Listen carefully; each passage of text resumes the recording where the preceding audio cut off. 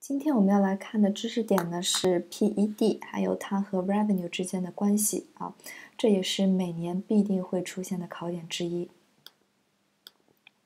So first of all, what is PED？它的全名呢是 Price Elasticity of Demand 啊。So here is a definition.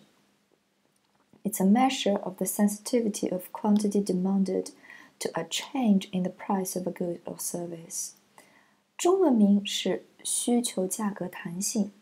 其实呢，我并不建议大家一遇到生词或者一遇到这些专有名词就去百度或 Google 去找它的中文意思啊。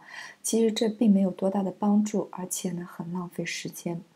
习惯了之后，你就会发现你其实是可以通过它英文的 definition 去理解和记住它的定义的啊。比如说这个 PED。它有哪些关键词呢？First of all, it's a measure。测量什么东西？测量 sensitivity of quantity demanded 和 change in the price of a good or service 之间的这样的一个测量工具啊。嗯，大家知道，如果我价格产生变化了，对我的需求它肯定是有一定的影响的。那这个影响有多大呢？我们就需要 PED 来进行测量。啊，那来看一下它的 formula。So how can we calculate PED? It's a percentage change in quantity demanded divided by percentage change in price. All right，这其实就是 definition 转成了一个公式啊。So it's delta Q divided by Q，这是分子。 分母是什么？delta p 除以 p，然后乘以一个百分之一百啊。那这个呢，也是每年必定会出现的考点啊。来看一下一个例子：A two percent change in price leads to a five percent change in quantity demanded. What's the PED？很简单，套公式就可以。现在 percentage change in quantity demanded 是多少啊？是 five percent。那 percentage change in price 是什么呢？是 two percent 啊。如果大家简单的用百分之五除以百分之二再乘以百分之一百，会得到一个二点五。但是要注意的呢是，我们这个 PED 呀，它是 negative 的，它往往是负的。为什么？因为当价格上升的时候，我的 demand 是下降的。there is an inverse relationship between price and demand. Uh, that's why our demand curve is downward sloping. Alright?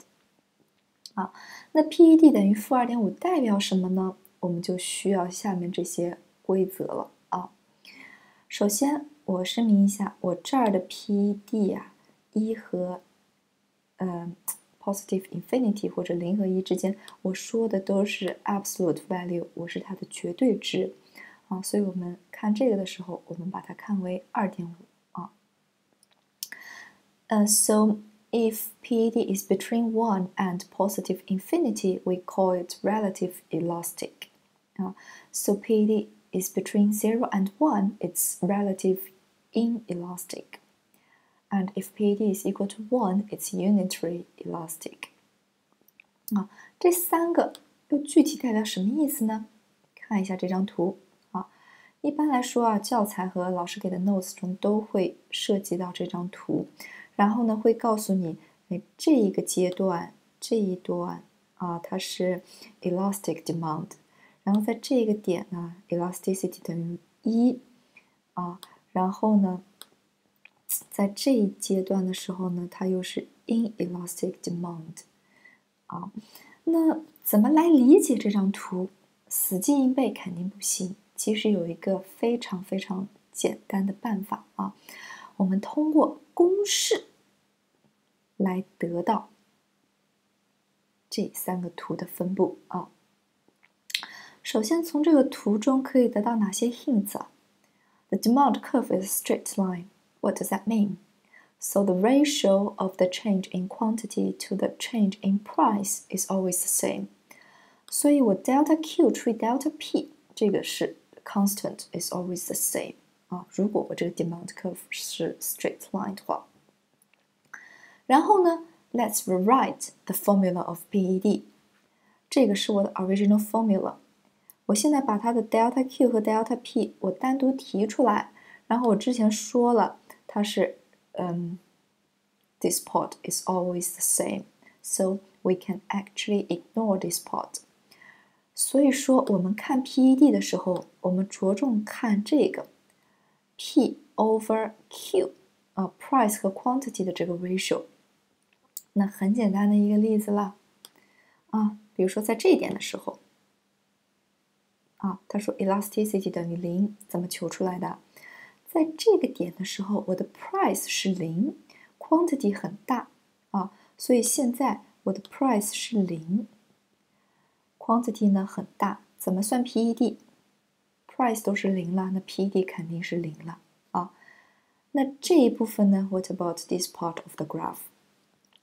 在这一部分，我的 quantity 很小，price 很大，所以说啊。我是用一个很大的数去除以一个很小的数，那自然我的 PED 也就偏大了，它甚至可能达到 positive infinity 的这样子的一个程度啊。So this part of the graph it means elastic demand because PED is really large.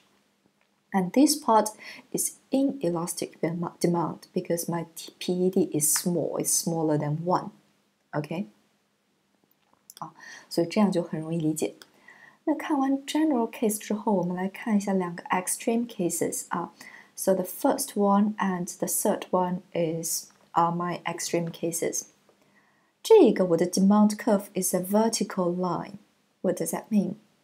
当我的 price 往上升的时候啊，我的 quantity 很坚挺啊，我的 quantity 就一直是这样，我不管你价格多少高，我就是 这个 quantity. That's why we say it's perfectly inelastic. So my demand is totally insensitive to price. 啊，那另外一个极端的 case 是什么？My demand curve now is a horizontal line. 那在这个 price 的时候，price P 啊，我的 quantity 可以是 infinity 的一个 quantity 啊，infinity in quantity。 但是如果我 price 万一上升了一点点，我这个 quantity 马上就 drop 到零了，没有人再去买这个物品了啊。That's why my demand is very sensitive to price. So these are the two extreme cases.